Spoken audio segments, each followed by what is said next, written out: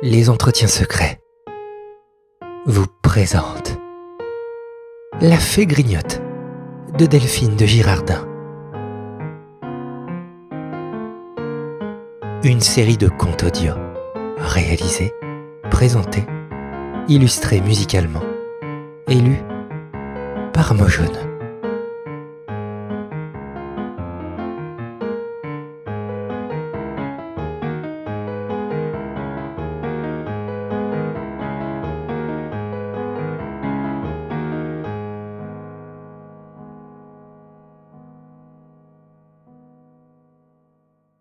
Chapitre 1er L'accusation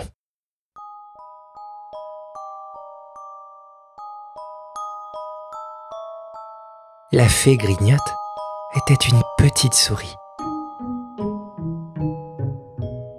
La plus jolie petite souris qui ait jamais grignoté sur la terre. Elle était d'une gaieté folle. Elle avait de petits yeux tout éveillés qui lui sortaient de la tête et lui donnait une physionomie toute gentille et capricieuse. Elle trottait, sautait, jouait toujours et ne pouvait rester un seul moment tranquille, si ce n'était pour méditer quelques niches. Son grand plaisir était de chatouiller les pieds des enfants, de courir à tout moment dans leurs jambes et de les faire rire sans sujet pendant qu'ils prenaient leurs leçons. Ce qui les faisait gronder par leur maître, lequel croyait toujours qu'on se moquait de lui. Oh mais n'ayez pas peur qu'elle les eût fait rire pendant la récréation. Ah non, vraiment. C'était un plaisir permis. Et mademoiselle se souciait fort peu de ce qui était permis. Ce qu'elle aimait, c'était le trouble et le scandale. Elle n'allait point chatouiller les enfants chez leurs parents, ni au spectacle, ni à la danse. Nulle part enfin où l'on doit s'amuser. Au contraire, elle les laissait là s'ennuyer tout à leur aise. Mais, en revanche, sitôt qu'ils étaient en classe, ou à la messe, pendant le sermon, ce qui était encore plus mal, elle arrivait, toute guillerette et maligne, et il n'était pas d'extravagance qu'elle n'inventa pour faire éclater de rire les pauvres enfants. Si l'un d'eux se laissait tomber par terre, soudain, elle allait chatouiller les autres et ils en riaient. Alors le maître les appelait sans cœur, et ils passaient tous pour méchants. Les enfants qui ne savaient ce que c'était que la fée grignote ne comprenaient rien eux-mêmes à leur gaieté. Pourquoi ris-tu? disait l'un à son camarade. Moi, je ris parce que je te vois rire, et toi? Moi, je ris de ce grand niais de Mélibert qui rit là-bas comme un fou. Regarde-le donc comme il se tient les côtes tous recommençaient à rire de plus belle, car la fée grignote se promenait sous la table et s'amusait à les chatouiller à leur insu. Cependant les maîtres se plaignaient fort de l'étourderie des élèves. Les punitions, les pansoum pleuvaient sur toute la classe comme grêle. On avait beau mettre en retenue tous les écoliers à la fois, ils n'en continuaient pas moins à rire. Et ce qu'il y avait de plus étrange, sans pouvoir expliquer ce qui les avait fait tant rire. Les parents s'indignaient de ne pouvoir point emmener leurs enfants le dimanche, quand ils se donnaient eux-mêmes la peine de venir les chercher. Ils se fâchaient, ils grondaient, menaçaient leurs fils de ne plus les aimer, et s'en retournaient furieux. Les enfants pleuraient bien un peu en les voyant partir. Mais une fois rentrés dans la classe, la méchante fée venait encore se promener dans leurs jambes et les rires recommençaient. Ils riaient toujours, en mangeant, en courant, en pleurant même. Ah oui, en pleurant, en pénitence avec le bonnet d'âne sur la tête. Il est vrai que cette punition, hors de mode maintenant, était bien faite pour amuser. De dimanche s'était passé, et de dimanche, tous les écoliers furent mis en retenue.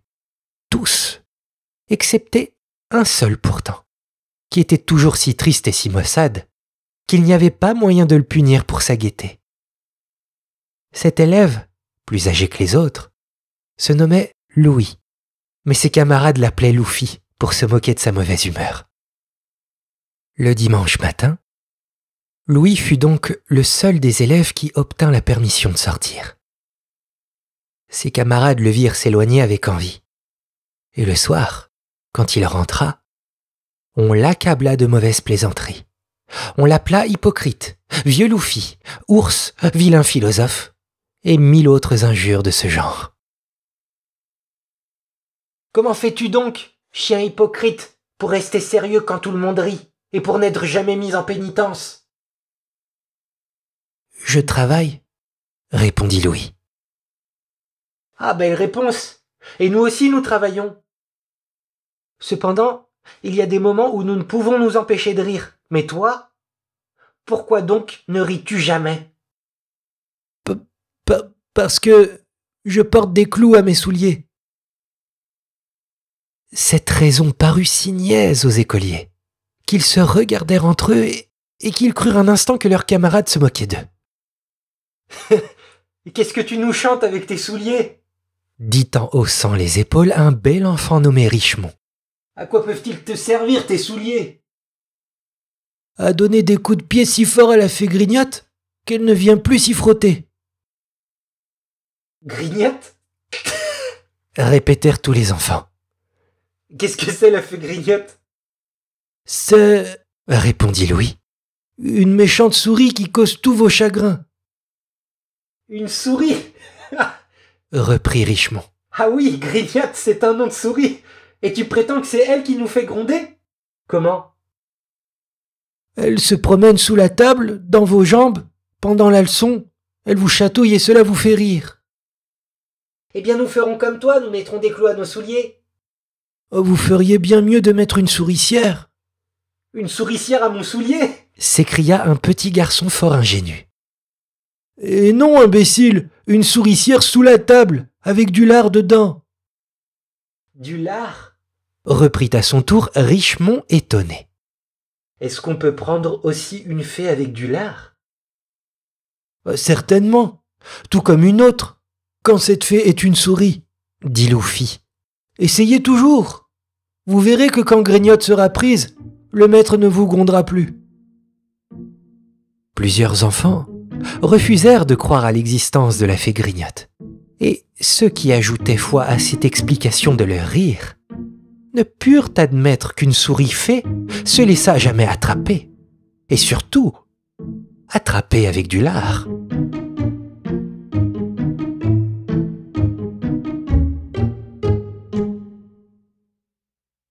Chapitre 2 Le dos du maître.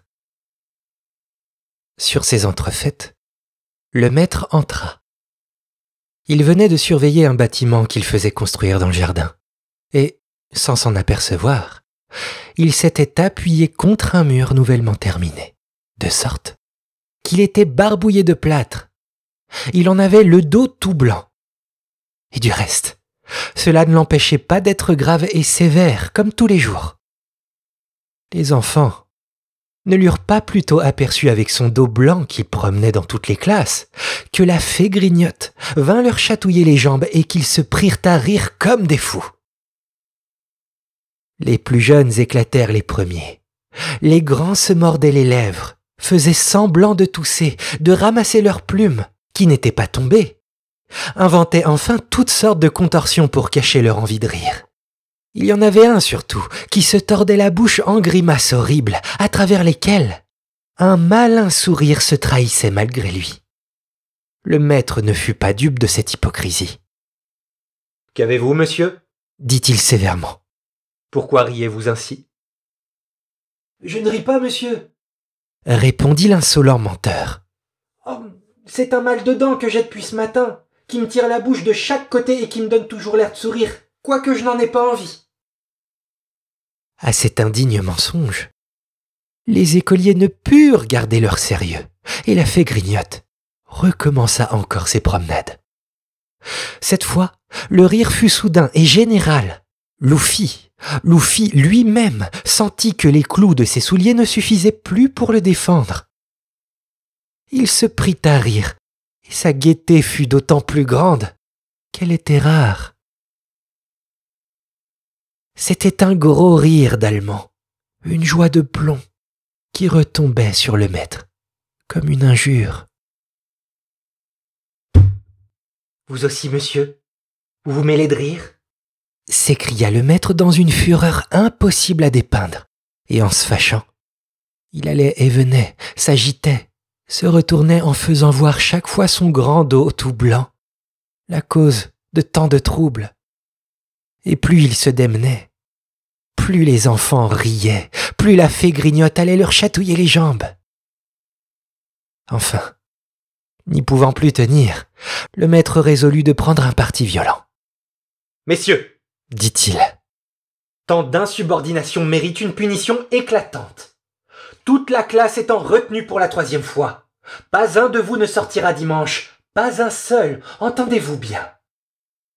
À ces mots, le maître indigné s'en alla. Mais comme la fée grignote, effrayée par cette grosse voix, était retournée dans son trou, les enfants ne songèrent plus à rire, et le dos blanc qu'en s'éloignant il leur montra n'excita plus leur gaieté.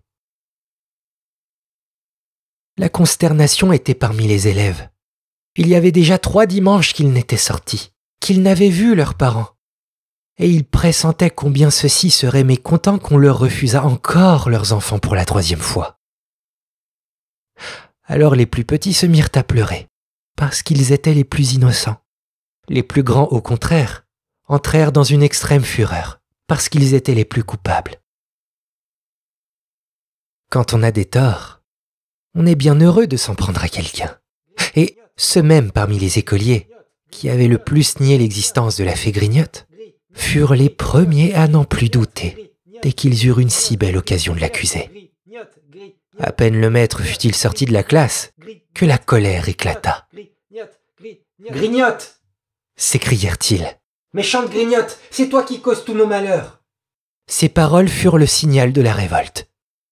Oui, dit Richemont, une des mauvaises têtes de la pension. C'est grignote. C'est grignote, j'en suis certain. J'ai senti quelque chose qui me poussait les jambes pendant que le maître parlait. Bah non, c'était moi. Dit encore le petit enfant tout naïf, qui ne comprenait pas qu'il fallût mentir pour accuser quelqu'un, et qui d'ailleurs se sentait déjà en sympathie avec Grignotte. Ah, c'était toi? Reprit Richemont, impatienté d'être dérangé dans son mensonge. Eh bien tiens, voilà pour t'apprendre à me pousser les jambes. Et le méchant garçon, en disant cela, donna un grand coup de poing au petit ingénu. Puis, transporté de colère, il monta sur une table en criant Vengeance Et tous ses camarades répétèrent Vengeance ce fut un concert d'imprécations contre la malheureuse grignote. Chacun, selon son caractère, lui disait une injure. Et comme ils étaient au moins au nombre de trente dans cette classe, c'était un tapage épouvantable.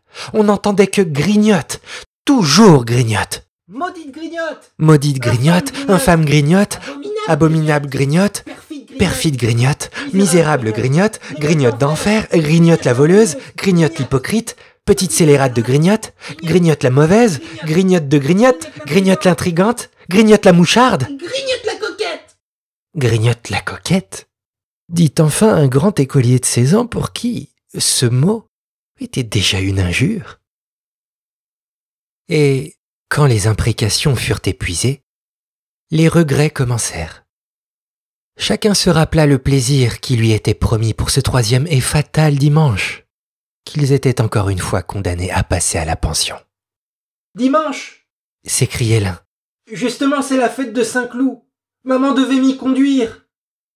Dimanche s'écriait un autre. C'est aussi la fête de ma tante. Nous devions aller goûter chez elle. Et moi, papa devait me, et moi, papa devait me mener à Franconie, et moi au jardin des plantes, et moi à la messe du roi, et moi mon oncle qui me donnait un fusil, et moi mon frère qui m'achetait un petit cheval, et moi grand-papa qui me donne une montre, et moi maman qui est malade, et moi ma sœur qui se marie, et moi mon tuteur qui est à Londres. Mon tuteur qui est à Londres C'est encore le grand écolier de 16 ans qui dit cela. Ce méchant écolier n'était heureux que quand son tuteur était absent. Mais je n'en finirais pas si je voulais énumérer tous les regrets que la punition infligée à ses enfants faisait naître en leur cœur. Je me bornerais à raconter leur vengeance. Chapitre 3 La prisonnière. Celui qui était le beau parleur de la classe déclara qu'il n'y avait pas un moment à perdre, qu'il fallait à tout prix s'emparer de Grignotte, que l'on n'aurait de repos que lorsque Grignotte serait prise, et que la prise de Grignotte seule pourrait apaiser la colère du maître. Le maître est trop juste. Le maître est trop juste, criait-il, espérant bien être entendu Il de est lui. trop juste, dis-je, pour nous punir du crime Pour d'un nous autre. punir du crime d'un autre. Je n'en doute point. Je n'en doute point, dès qu'il saura que Grignotte seul est coupable, il nous fera grâce, et toute sa seule. colère sur elle seule retombera. À ce discours, les écoliers battirent des mains, et l'orateur profita de cet enthousiasme pour demander des fonds, c'est-à-dire l'argent nécessaire à l'achat d'un peu de lard et d'une souricière. Chaque élève apporta la contribution de ses dix centimes, et l'on réunit bientôt une somme assez considérable pour se procurer de quoi prendre toutes les souris du quartier même quelques gros rats par-dessus le marché. On était au jeudi de la semaine, et l'on avait encore deux grands jours à donner aux démarches nombreuses qui devaient rendre aux écoliers leur beau dimanche. Les ruses allaient leur train. La souricière était achetée. Le lard même était déjà grillotté. Les enfants, pour attirer leurs persécutrices, semaient des miettes de pain dans toutes les chambres du collège. C'était pitié de voir tant d'ennemis et tant de courroux contre une si petite souris. Alors, l'espiègle grignotte ne savait rien de ce complot. Depuis le jour de la grande colère du maître, elle s'était enfuie et se tenait cachée dans une pension de jeunes filles où elle faisait maintes folies. Car les petites filles sont encore plus rieuses que les garçons ne sont rieurs. Cependant, voyant le calme rétabli chez les écoliers, elle revint le vendredi soir, couchée dans son trou ordinaire, bien loin de soupçonner la trahison qui l'attendait. Quand elle rentra, il n'y avait plus personne dans la classe. Tous les élèves étaient dans les dortoirs. Alors la souris se promenait çà et là, sous les bancs, et, trouvant tant de miettes de pain par terre, elle fut très agréablement surprise. Comme elle les goûtait sans danger, elle ne soupçonnait aucune ruse. De miette en miette, elle arriva jusqu'au perfide lard, dont, hélas, elle ne se défia point, l'imprudente. À peine eut-elle goûté ce mets trompeur, qu'elle entendit un bruit terrible, terrible pour une souris, celui d'une trappe qui retombe. La souricière se trouva fermée, et la souris se trouva prise. La pauvre fée, en ce moment, fut aussi malheureuse qu'une véritable souris qui serait tombée dans un piège semblable. D'ailleurs, c'était une fée du second ordre, une quasi-fée qui n'avait aucun pouvoir. Son rôle sur la terre était de faire rire, et rien n'est plus méprisable que cela. Elle sentit du premier coup toute l'étendue de son malheur, et elle passa la nuit à gémir et à se désoler. Le lendemain matin, quand les écoliers la virent dans la souricière, ils éprouvèrent une joie délirante, une joie féroce, une joie de coupable qui triomphe. Oh chat Oh chat Oh chat Au chat crièrent-ils aussitôt pour l'épouvanter. Car cet instinct de cruauté qui nous porte à proclamer devant notre victime le nom de son ennemi, en effet, c'est le plus cruel des outrages. On posa la souricière sur la table, et les écoliers, s'étant mis sur leurs bancs, s'apprêtèrent à juger Grignotte. D'abord, on exposa les griefs. Et il y en avait beaucoup. La pauvre fée était toute tremblante. Plusieurs méchants élèves la menaçaient du poing. D'autres lui faisaient de gros yeux. Ceux-ci lui disaient mille injures. Ceux-là, gaiement cruels, lui faisaient d'ironiques compliments. Voyez donc Voyez donc qu'elle est jolie Disait-il, Pauvre prisonnière, elle me fait pitié. Le petit ingénu, les croyant de bonne foi dans leur intérêt pour elle, et ne sachant pas encore ce que c'est que l'ironie, les prit au mot dans leur bienveillance, et joignit sa pitié sincère et naïve à leur perfide compassion. Ah oui, n'est-ce pas? dit-il, qu'elle est bien jolie. Elle ressemble à un petit lapin. Pauvre enfant, cet éloge lui valut encore un coup de poing. Cependant, le maître devant bientôt revenir, il fallait se hâter de forcer la souris à confesser son crime. Nous allons te livrer au maître, dit Loufi à la malheureuse fée. Sa femme a un chat qui, qui fera justice de toi. Oh chat, oh chat, oh chat. Au chat crièrent-ils encore une fois tous, jusqu'au pauvre ingénu qui avait peur d'être battu s'il ne criait pas. Messieurs, dit la fée, daignez m'entendre. Je confesse que j'ai été bien coupable en attirant sur vous de grands châtiments. Je ne chercherai point à m'excuser. Hélas, je le sais trop. Ce ne sont pas ceux qui souffrent de nos fautes qui peuvent leur trouver des excuses. Je reconnais les miennes, mes seigneurs. Aussi, n'est-ce point à votre clémence que je m'adresse? C'est à votre raison. C'est au nom de votre intérêt que je parle. Si, si vous m'accusez près de votre maître, il ne vous croira pas. Votre cruauté sera inutile, tandis que votre pitié peut vous être profitable. Eh bien, eh bien, soit, dit un des juges que ce raisonnement venait d'attendrir. Nous te laissons la vie.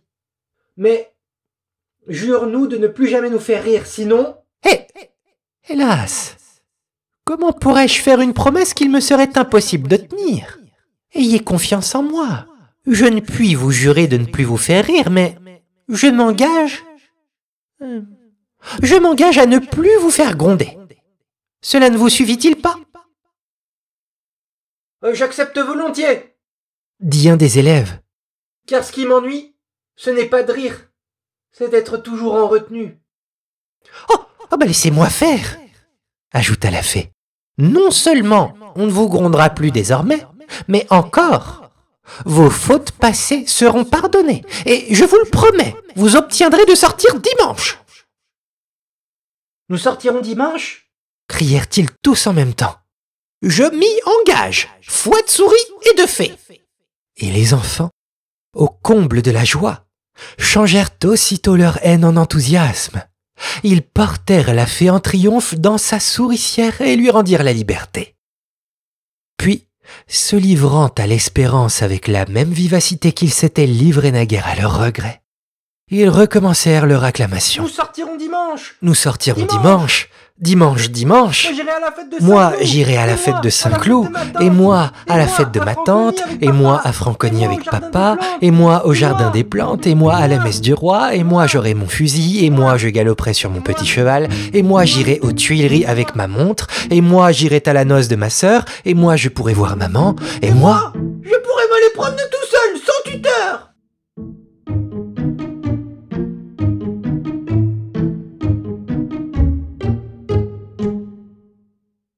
Chapitre 4 Moyen ingénieux. Mais bientôt, ce grand espoir se dissipa. Le soir du samedi était arrivé, et les enfants n'avaient point obtenu leur grâce.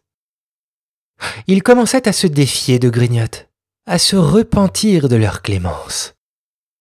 La petite fée n'avait pas de temps à perdre pour exécuter ses projets. Elle les méditait en silence, elle guettait une occasion favorable, quoique très jeune, et, de plus, sourit.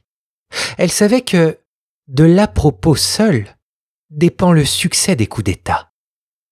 Et elle attendait, avec la patience de l'homme de génie que l'instant d'agir fût arrivé. Tous les élèves étaient réunis dans le réfectoire. C'était l'heure du souper. On leur avait servi ce jour-là un grand plat de haricots qui n'avait pas trop bonne mine. La sauce était si claire, si claire et si abondante que je crois que toute la fontaine y avait passé. Les tristes haricots étaient dans le plat comme submergés. Richemont, qui, comme nous l'avons déjà dit, était un mauvais plaisant, Après avoir inutilement poursuivi un haricot au fond de cet océan, c'est-à-dire dans son assiette inondée de sauce, tout à coup, ôta son habit. Cette action inaccoutumée attira l'attention du maître. Que faites-vous donc là, monsieur? dit-il avec colère. Pourquoi ôtez-vous votre habit? Pour aller chercher mes haricots à la nage, répondit Richemont avec effronterie. Le maître allait se fâcher, mais au même instant, Grignotte vint courir dans ses jambes, et loin de se mettre en colère, il sourit. Grignotte, encouragé par ce succès, recommença ses promenades, et le maître finit par rire tout à fait de bon cœur avec ses élèves. Sa femme, qui était très douce, profita de sa bonne humeur pour lui demander la grâce des pauvres écoliers. Voulez-vous punir des enfants parce qu'ils ont ri? lui dit-elle, quand vous-même, vous êtes un homme grave, un père de famille. Vous ne savez pas garder votre sérieux? Cela ne serait pas juste. Alors le maître se laissa attendrir, et la grâce des enfants fut accordée. Alors, ce fut une ivresse générale. Ils crièrent tous d'un commun accord. Vive notre bon maître! Vive notre bon maître. Vive Grignotte. Vive la fée Grignotte. Grignotte. L'immortelle, grignotte l'adorable, grignotte la belle, grignotte la charmante, grignotte d'amour, grignotte la mignonne, grignotte la favorite, et grignotte la bien-aimée. Et depuis ce temps, Grignotte est devenu l'ami des petits-enfants.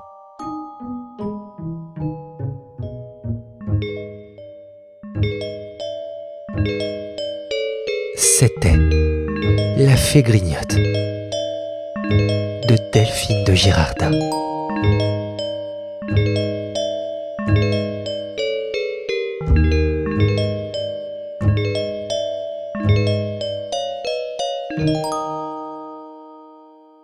Espérant vous avoir diverti le temps d'un conte, je vous dis à très bientôt pour le temps d'un autre.